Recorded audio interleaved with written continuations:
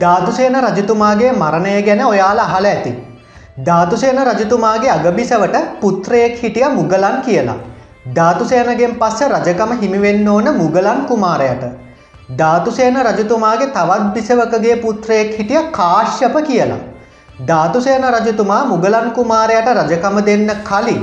කාශ්‍යප කුමාරයා රජතුමාව හිර කරලා බලෙන් රජකම ගන්නවා. ජීවිත අවධානම නිසා මුගලන් කුමාරය කාශ්‍යපගෙන් බේරෙන්න ඉන්දියාවට පැනල යනවා. ටික කාලයක් ගියාට පස්සේ කාශ්‍යප රජතුමාගේ හිතේ යම් සිතුවිල්ලක් හොල්මන් කරන්න ගන්නවා. අපේ පියාණන් දැන් අවුරුදු ගානක් මේ රටේ රජ්ජුරුවෝ.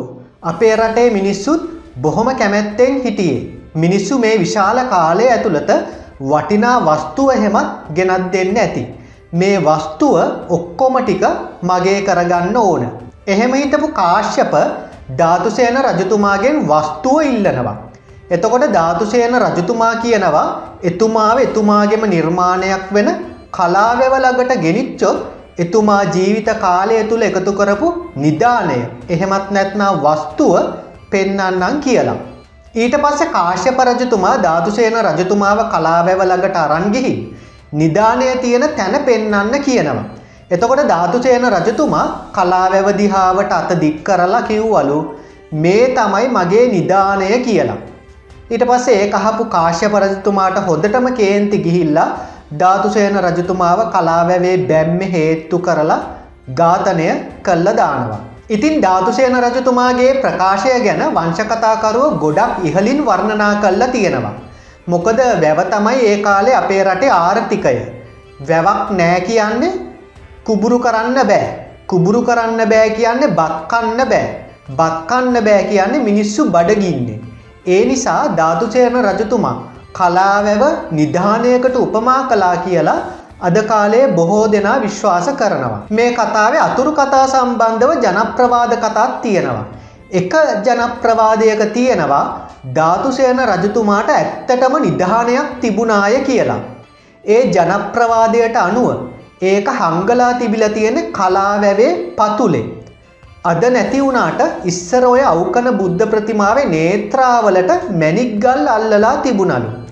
ජනප්‍රවාදය තියෙන විදිහට අවකන බුදු පිළිමේ නේත්‍රාවලට හෙමත් නැත්නම් මේ මැනික් ගල්වලට පතිත වෙන හිරු කිරණ පරාවර්තනය වෙලා කලාවැව මැද්ද තියෙන එක්තරා ස්ථානයකට දර්ශනය වෙලා තියෙනවා. අන්න ඒ දර්ශනය වෙච්ච තැන හරියටම යට පතුලේ ඒ නිධානය හංගලා තිබුණලු. අදත් කැලෑවල නිධාන හොයාගන්න පුළුවන් වෙන්න ඒ වගේ සලකුණු තියෙනවා. අපේ අය කරන්නේ එතන නිධානයක් කියලා හිතාගෙන සලකුණ තියෙන තැන තමයි කඩලා විනාශ කල්ලා හාරන්න. දැන් නිධානය තියෙන තැන පෙන්නුම් කරන්න තමයි ඒ සලකුණු තියෙන්නේ. සලකුණ විනාශ වෙනවයි කියන්න ඉති ඒ නිධානයක් සැගවිලා යනව කියන එක. මේ අතරේ තවත් සමාරක් අය උපකල්පනය කරනවා ධාතුසයන රජතුමා කාශ්‍යපට නිධානය ගැන කිව්වෙ නැත්තේ කිව්වත් නැතත් රජතුමාව මරලදාන නිසා වෙන්න ඇති කියලා. ඒ වගේම තවත් අය කියනවා රජතුමා කලාවැවදිහාවට අතදික් කරලා පෙන්නුවේ කලාවැවේ ඇතුළේ පතුල තියෙන නිධානයයි හැබැයි කාශ්‍යප රජ්ජුරුවෝ ඒක වැරදියට වටහාගත්ත කියලා. මේක ජනප්‍රවාද කතාවක් විතරයි. හැබැයි මේ ජනප්‍රවාදය බැරි වෙලාවක් ඇත්තක් නම් ධාතුසයන රජතුමාගේ නිධානය අදටත් කලාවැවේ පතුලේ කොහේ හරි තැනක සැගවිලා ඇති.